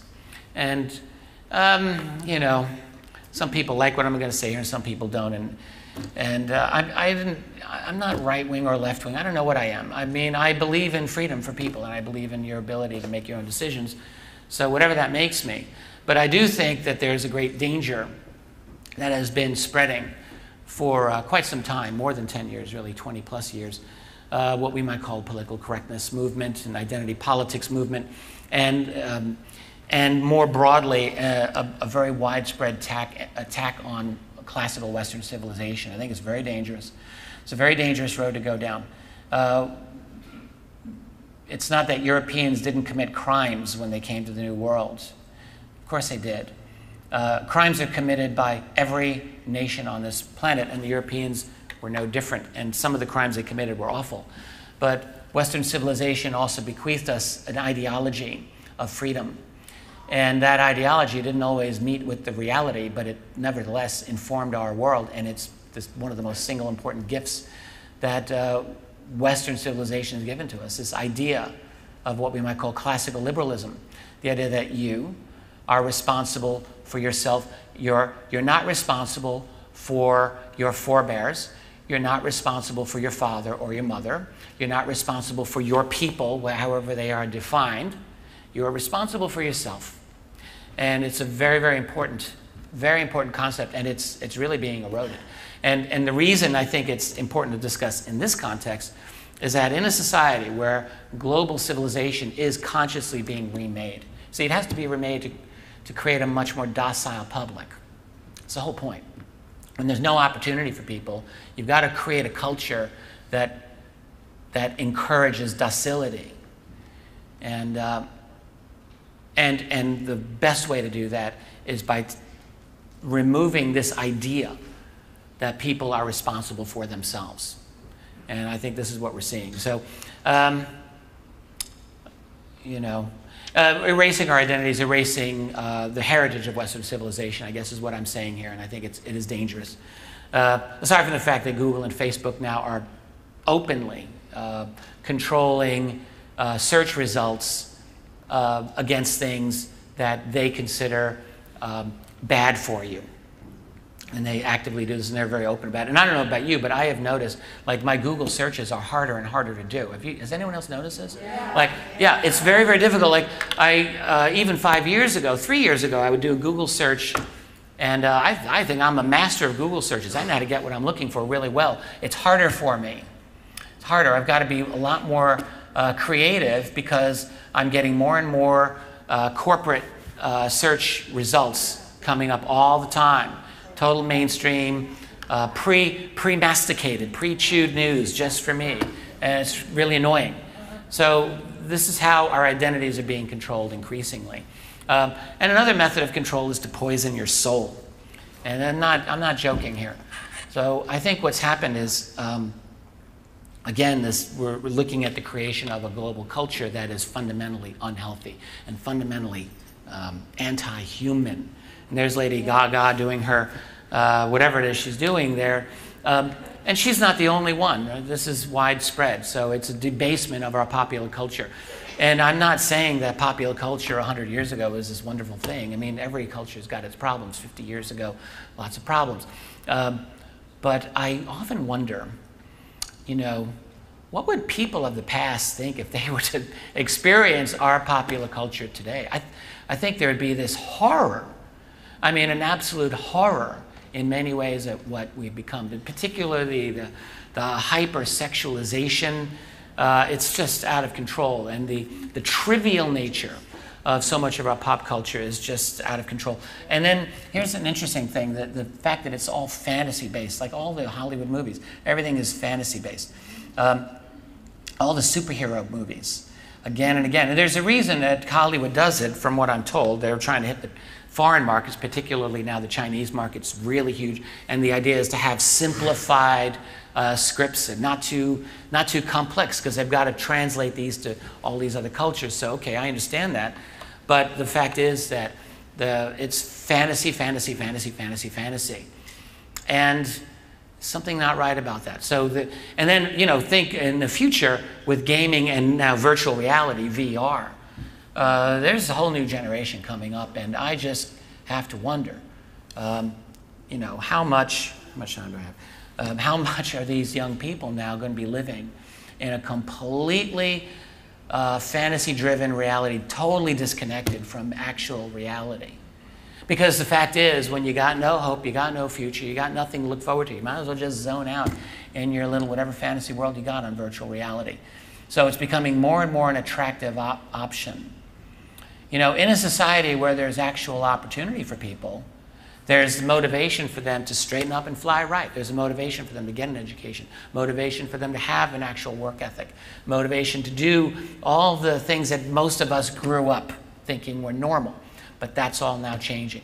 So we're seeing slowly but surely the imposition of a completely different type of culture. And it is a debased culture that uh, I personally am convinced is designed to remove us from our higher selves. So, uh, actually, I basically just said everything here. Um, transform culture and society to create a docile and confused population. I didn't mention that before, but yes, confused. I mean, think about how impossible it really is to understand the world by following establishment news. And I'm not even just your TV news, that's bad enough, but even like the New York Times uh, or the Washington Post or you know, any of the Canadian newspapers, I don't think it's really possible. I think it's actually impossible uh, using those sources alone to formulate a coherent vision of what is going on in this world. It's, it's not possible anymore. They don't, they don't provide that insight. So, uh, and when you're confused, it's, well, you can't defend yourself and you can't defend your interests because you don't really understand what's going on in the world. So, and you're docile to boot. So, and then, then the weaponized people. As people still need to feel like they're fighting for something that's, that's good, right? I mean, people need, we all need to have self respect. So people are weaponized by a kind of global media agenda now. It's really that simple. Uh, against whatever the new enemy is, uh, whether racists or sexists, uh, Trump or Putin, take your pick. And it's not like those are good things. I mean, racists, we, we don't support racism. We don't support sexism. I understand that. I don't support them, and neither do you. Uh, but what I am saying is by whipping up a public uh, agenda toward these types of iconic things to attack, when actually the real issues are being left far, far behind and ignored, then I have to ask myself, what's going on here? Uh, desire for privacy is going away. Desire for economic freedom is just all that's being removed. Uh, privacy, you have a whole new generation of, of young people now. Um, what's the percentage of the population, I wonder, born after 9 11? I don't know. It's uh, getting closer and closer to 50%. It's probably in more than a third of uh, the US and Canadian populations are comprised of people born after 2001. Probably. It's getting close to 30%, if, if not past it. So there's a huge number of people now in our world that have grown up. Uh, they don't know the before times. All right? They don't know that there was a time when people actually truly believed that they had rights and they had freedoms. Um, and I, am not saying this facetiously. I mean, for real. I think so. The new generation of people are growing up knowing that their lives are public. Everything's on Facebook. Everything's on Instagram, and they and they do it to themselves, like willingly, openly, because the culture's changed. It's like who needs privacy? Uh, the culture is being changed. So um, I created this little vision, this graph. Um, I think of us as uh, creatures who have basic needs and we have higher needs. And the basic needs, you know, we need food and we need friends and love and sex and family and money and our career. Um, we need those to have a fulfilled life. And, and then there's higher needs as well. And I have love on the higher needs as well. I, to me, love is both, it's basic and higher. But our higher needs would be learning and ideas and creativity and spirituality and understanding of the world we live in and love. These are our higher needs. And I feel, anyway, to be a, a fully integrated person, uh, we need all of those things to be, um, to be who we are. And our, the higher needs, that's that's the part of us that's what makes us really special, right? Um, and it's what brings us above the base level. And what I will uh, suggest to you is that our, our new culture that's being created is it, it erasing. Do I have a little marker here? It erases this, that's the higher needs, and it, it promotes this and, you know, blazons the basic needs again and again. I didn't make a very good job at that graphic, but you can get the idea of what I mean. The culture that we live in promotes the basic low level needs and at the exclusion of higher needs. Uh, that is my opinion. And that's, that, there's a reason for that. Now let me get back to uh, money. So, um, so you may have heard uh, the news article of the last, last couple of months, actually. It's gotten reported um, in a few places and not reported in many, many, many other places. Um, that the Pentagon and uh, the U.S. Department of Housing and Urban Development, HUD, lost, misplaced, unauthorized spending of $21 trillion. And you're wondering, wondering well, what, how, how is that possible? So um, this is something that uh, came about through the research of uh, Catherine Austin Fitts, again, who I've mentioned a few times. Catherine was not only Assistant Secretary of HUD back in the days of George Bush Sr., so she was number two at HUD, uh, but she's a financial expert, um, really superb, and has been uh, probably more than anyone else that I know the foremost expert on what we might call black budget economics. Uh, she's written a lot about it, and she's talked for years about how trillions, not billions, but trillions of dollars seem to have gone missing from the US government. And uh, famously, of course, shortly before 9 11, Secretary of Defense Donald Rumsfeld uh, talked to um, US Congress about 2.6 and then later amended to 2.3 trillion dollars of undocumented expenditures. He says, if you can believe it. That was his quote. Uh, to chuckles in the, uh, in the US Congress. You read the transcript. Uh, and then came 9 11, and that story kind of went away. Um, well, what uh, the story of this 21 trillion came about because uh, Professor Mark Skidmore, uh, who's an economist in, uh, uh, I think at the University of Michigan, uh, heard, came across one of Catherine's statements that trillions of dollars, I think she mentioned that 1.6 trillion dollars, were um, lost in unaccountable spending. And he just said, that's impossible. That's like, that's a ridiculous amount of money. That cannot be true. And so he began going through expenditures uh, line by line of the United States uh, Pentagon over from 1998 up until 2015. So nearly 20 years. And started to become astonished at what he was discovering. And then he brought in his graduate students. And so he had a team of them, they were all going through uh, line items of Pentagon spending.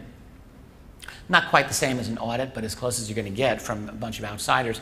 And they came to uh, $20 trillion of money that the Pentagon uh, cannot account for over a 17 uh, year period, and then 1 trillion from HUD.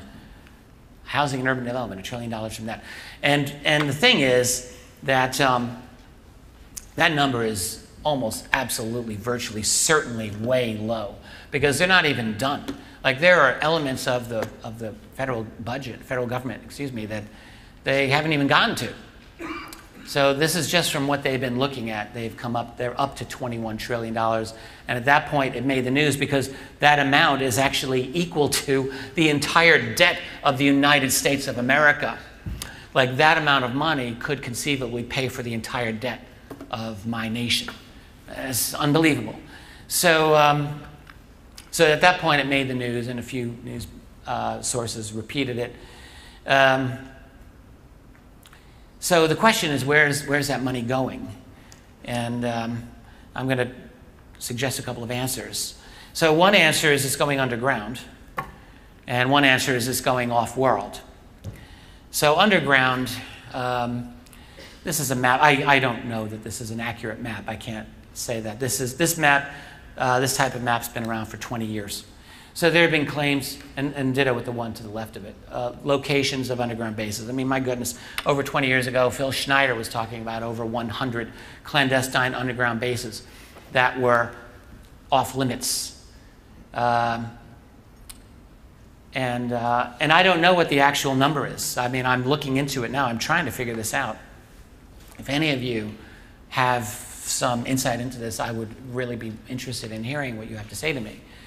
Um, but we can assume that there's a large number. You know, a number of years ago, Richard Sauder published a book called Hidden in Plain Sight. I was his publisher. And uh, he did a very good job there, in my opinion, of showing the plans to go deep underground, going way back to the 1960s and 50s, actually. The money is not really that uh, uh, considered impossible back then to do it. The technology, this is one such uh, uh, I think that's called the Big Inch, if I'm not mistaken, to go deep, deep underground and just carve through these massive structures. It can be done. The capability has been there for a long time. The only question is how many of these exist. And that's where investigators are trying to figure out, like, how accurate is this claim and how accurate is that claim. But I think uh, it's not outrageous to think, to think that there's at least 100 uh, fully functioning deep underground bases in the US alone. Uh, Canada, I'm sure, is loaded with them, and uh, I'm sure they're throughout the rest of the world as well. And that would include, uh, I mean, even if it seems astonishing to you, under the, under the seabed. Uh, after all, we have tunnels connecting uh, regions under seabeds. You've got the Channel Tunnel connecting Britain to France. We've got in New York City, we've got uh, the Lincoln Tunnel and the Holland Tunnel. They go under the ground. In Japan, there's a uh, a series of tunnels that go for, I think, uh, more than 20 miles under the ocean floor. So we know how to do it. Uh, the only question is, how extensive is it? I mean, it's an incredible thing to ask yourself, how do they get oxygen down there? But all this technology exists. It's, all, it's existed for years and years. So um, underground, though, is expensive. I've been trying to uh, do some investigation into this, and there's no question, like uh, an above ground facility versus a below ground facility, there's no question of what is more expensive. Below ground, it's a, a, factor of not less than five and probably a factor of 10 or more to uh, properly build uh, underground facility that you could otherwise build above ground. So it's a lot of money. I mean, you've got all these issues, not just excavation. You've got site analysis, geological surveys. You have to make sure that you, you're actually building in an area that's going to work for you. Then there's all of the special needs, not just air ventilation, but water drainage, uh, water prevention, transportation under the ground. Is that? That's a noise. Okay, I don't know what that is. Um, I was uh, reading a, um, some studies done by uh, the state of uh, Wisconsin was just doing a study comparing underground versus above ground electrical transmission lines. A very simple thing, and they were looking into it and they said it's, it's uh, four to 14 times more expensive to go below ground than above ground, and they were just trying to factor out the cost. So what's very obvious is that it's very, very expensive to build underground. There's got to be a lot of money going into under, underground facilities. And aside from that, just to manage the security and secrecy of underground facilities, probably not cheap either. Uh, keeping prying eyes away through bribery and threats, who knows what else, but there's a, a great deal involved going underground. So everything, all the costs go way up. And with space, it has to be even more, has to be more than even underground. Uh, just the whole infrastructure of doing anything in space. Um, so in space, um, I was reading, uh, so the cost of building a space station, conventional estimates of building a space station uh, $100 billion is not an outrageous amount to envision for one space station. That's a lot of money. Now, I'm not saying that we have secret space stations out there. In fact, I don't believe that there are secret space stations. I think those would be detectable, very easily detectable. Um, unless you can cloak them. Maybe that's the case. But, but I will say that, um, that there are other technologies um, that are very expensive and I've got 10 minutes? Oh, that's Victor. Okay. Thank you, Victor. 10 minutes, correct? I have you? No, come on. But here's, you have to understand the lights are coming out. I can't see anybody. I can't see you. So it's, it's interesting. I know you're there. That's as good as I can get. Thank you. Um, so the, uh, what was I saying? Oh, so, um, so space is expensive. And I've been thinking, so uh, you have people with these sightings of the big black deltas, that is, the big black triangles. And uh, these are clearly expensive. They're not cheap. So, is it possible to hide a space fleet of these big black deltas? And I think, yes, absolutely, it really is, because they if, if everything that I'm thinking is right, is if they're operating on different types of principles of propulsion, they don't need to be in orbit. So if something is in orbit, then it's easy to detect. Then astronomers can know how to find something. But think about it. If you're really working with off the grid, off the uh, charts technology, which I think they are, they don't need to do something as mundane as put a, a satellite in orbit where it can be easily detected and where its path is very um, predictable. That's old school. All right? The new way would have to be an object that's in a much more unpredictable path.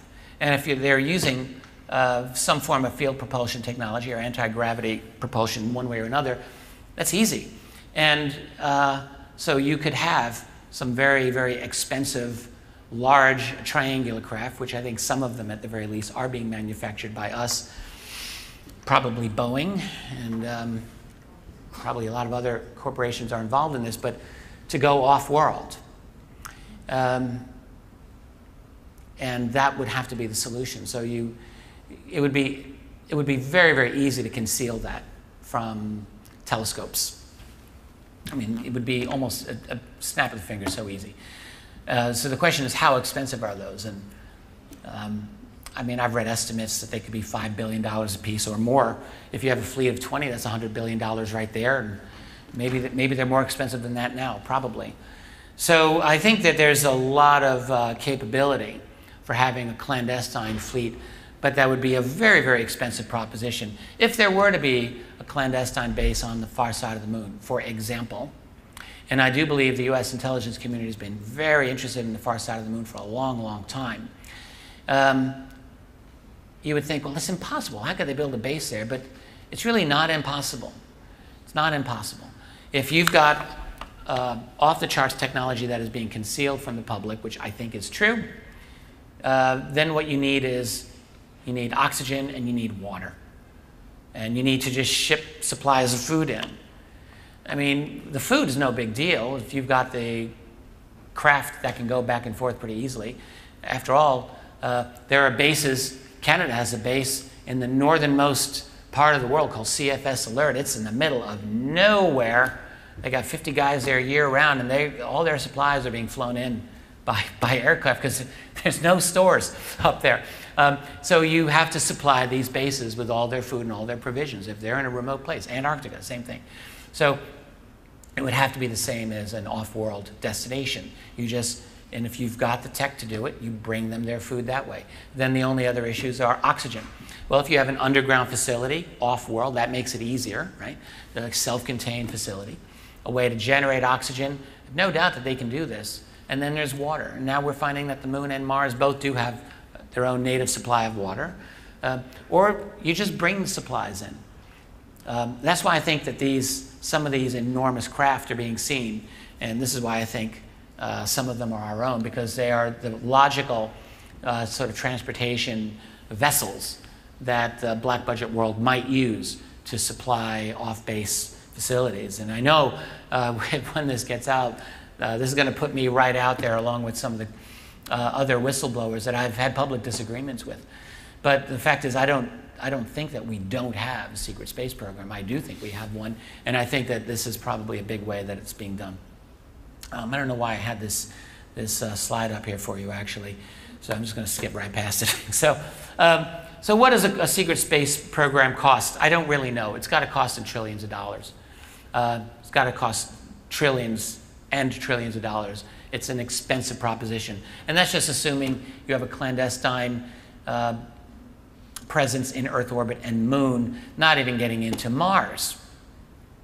Years ago, when I was a, a new researcher in this field and just really learning about the anomalies of Mars and wondering what I thought about it. I wrote to one uh, scientist who thought was very well uh, connected, and I intentionally disparaged uh, some of the claims about Mars just to gauge his reaction. He wrote back, he says, You really shouldn't do that.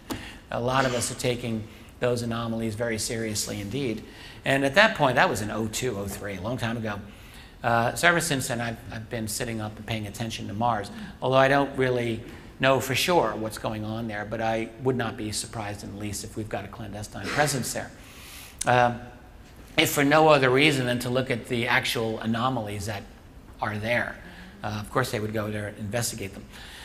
Um, but also, if you wanted to have a defense station, uh, you really, I can't see you wanting to go much further out than Mars uh, because once the, uh, you go out past the asteroid belt, you get out to Jupiter and beyond, th- those revolutions take a long, long time. And I could just imagine it would be militarily very difficult uh, to defend Earth if you're stationed on an asteroid on the opposite end of the solar system. Like, you're really not going to be very useful uh, necessarily. So, um, Mars would be a little bit easier, it's closer. I'm just thinking, this is my own thought. I don't really know what uh, the experts who are involved in this are actually concluding. So, um, oh yeah, and then let me just talk a little bit about Donald Trump's announcement of a Space Force. Um, I think this has been an inevitability for a long time. Uh, you know, there have been calls uh, since, I mean, Steven Greer's press conference of 01, where they talked about the need to de-weaponize space. I thought, well, that's a really nice idea. That's never going to happen. Like, I mean, seriously, that's total fantasy land.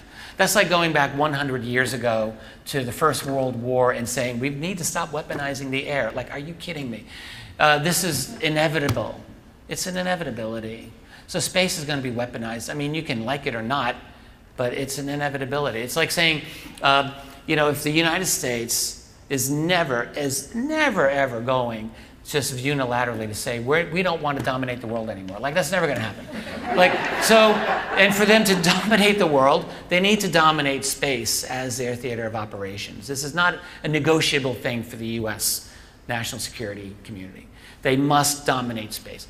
That means they've got to have the NRO's got to have their spy satellites up there, and who knows what else. And they need them up there because none of those smart bombs are going to work if they don't have the targets exactly, you know, uh, targeted by the satellites. And, then the adversaries are going to try to take the satellites down, and you're going to have to defend them, and it's a, it's a war in space. Inevitability. So um, that I was just foolish, really. I mean, I don't want to be a Monday morning quarterback, but that was foolish, idealistic talk that was never going to go anywhere. Um, uh, there is actually a lot of pushback that you're seeing in the US military against the Space Force, and that's simply because the Navy's got their own space operations, the Air Force has got their space operations, the Army has space operations. They're all out there, and none of them want to lose their, their uh, control over that to, ha- to have an independent force that would be a unified command. So there's probably going to be resistance for a number of years, uh, could be, for, against this, but I think uh, I'm going to guess that it will go through and it will happen. Um, I think uh, geopolitically, in just terms of conventional politics, probably good timing uh, for Trump to make this decision. After all, they're worried about the Chinese, they're worried about the Russians, they're worried about the Indians. Everyone's getting out into space, and the United States' attitude is we're going to dominate. I'm not saying it's the right thing to do from an ethical point of view. I'm just saying from a purely power political point of view, it's inevitable. Uh, it's also good timing in terms of the secret space program, though. So if you've got a secret space program, which they do, um, you know, then you're going to need an increasingly better cover of operations for that program, uh, a shield, as it were. So uh, to, to engage in very, very um, extensive operations beyond, you need to have something substantial, I think, in place to um, be the kind of first level of, um, of visibility. And so I think that's pretty obvious. And uh, it could have happened under President Obama, to be quite honest. It, I mean, there's, there's really no inherent reason why it didn't. He just um, didn't happen, so it's happening now. And um, so I don't really, I'm not going to pretend that I have much more inside information on this Space Force thing. I mean, it's, uh, I don't have any people on the inside of the Trump White House that give me the information, but uh, maybe some other people do. So I'm getting toward the end here. Um, the UFO cover up has, uh, as I say here, facilitated the development of a breakaway civilization. And again, at a time when those elites above us, I'm just going to use that word um, figuratively, are openly embracing a post human utopia or post human dystopia for the rest of us. Um, think, you know, it, it, could have happened, let's say like 100 years ago. Well, the world was very much an unequal place 100 years ago, but the ideology was a little different in many ways, and the, uh, the freedom of the press was actually very different. If there had been I'm just speculating here, but I can at least envision that uh, the UFO phenomenon could have been handled a little differently in a slightly different phase of our development. That's just, just my thought. But anyway, it's happening now. And um, as a result, uh, I think tomorrow I'm going to be on a disclosure panel, and I'm looking forward to it. And I believe in disclosure. I've, I've never stopped believing in it, but I've never believed that disclosure will be done in an honest way. Um, I think disclosure of the UFO reality will only be done, ever only be done, in a way where the, uh, those people with the power and the secrecy are forced by events and they will just, disclosure will have to be pried out of their cold, dead fingers. It's the only way it's going to happen. Uh, they're not going to do it willingly. And, and, and, and I don't think they're going to do it honestly. I just don't think so. Uh, you know, organizations like the CIA have been managing this since forever, and they're just not going to walk away from the table and say, okay, you know, here's all the truth now. Um, they probably have truths that they're concealing that they would consider very disruptive and, and maybe scary. And I, I, understand that. So the idea would have to be we're going to give you a little bit at a time, a little bit at a time. And I think that that's probably the case, uh, whether they do or do not have our best interests at, in heart. And some people, uh, like the, the, uh, the, To the Stars Academy, believe that they have our best interests at heart and other people think that the CIA and the national security apparatus do not. I'm of the latter category. Not that there aren't good people in there, but um, I just don't think that institutionally they've done anything other than work for the financial elites, like the Rockefellers who helped create the CIA, which is the case. The Dulles brothers were CIA, were Rockefeller lawyers. I mean, it never changes. It never changes. Um, William Casey, you know, when he directed the CIA, same thing. They all work for the same people. So I think the goal uh, I'm not saying it's going to happen, but I think the goal is a long night of global totalitarianism. That's what we're moving toward unless we do anything to stop it. That's, I think, going to happen. And uh, our job is to stop it. Our job is to confront it. So the way that we can do it, and, and this is something that all of us can do, is to uh, be brave and to recognize, the first thing is to recognize that there's a problem. So it's not to pretend that uh, if we only you know, work on increasing our vibrational frequency, that's going to all become better. That's not a bad thing to do, and we should all strive to be better people, but uh, we have to re recognize that we're in a very, very uh, desperate system of control that is going from bad to worse every day. So until we see the magnitude of what's going on, I, I think it's pretty hopeless. Um, we have to see it, we have to speak the truth, we have to do whatever we can to inspire other people.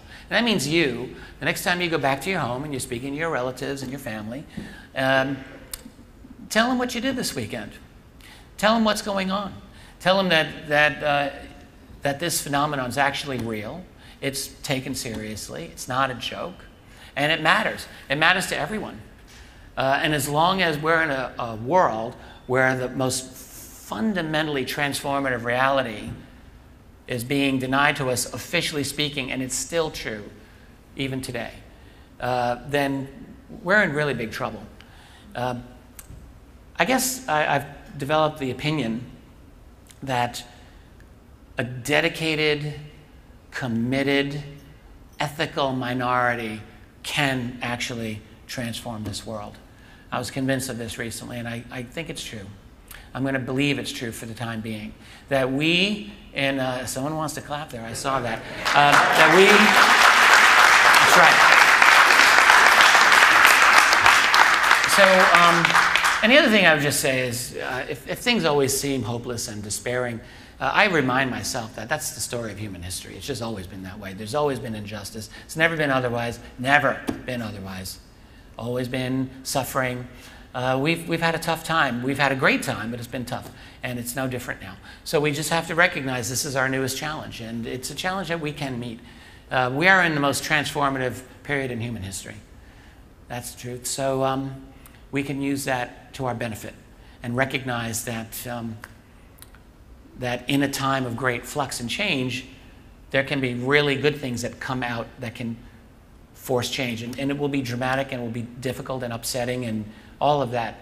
But the fact is, we're never really going to get to where we need to be without some dramatic changes. The way it is right now, we're, we're in this kind of enforced uh, system of childhood And uh, we're never going to get to adults until we actually rip some of these illusions away from us. We can do it. This is my, uh, my new website. It's Richard Dolan Members. And um, uh, Tracy and I have been really working it hard. I would encourage you to go take a look. My calendar's on there if you ever want to know what I'm up to. Uh, I've got articles uh, for the public and for members, and it's just all there video, audio, blogs. Uh, i am shocked at how much is on there now. I would encourage you, if you want to see uh, what I'm up to these days, go to richarddolanmembers.com. And with that, I want to thank you very, very much for your time. Thank you.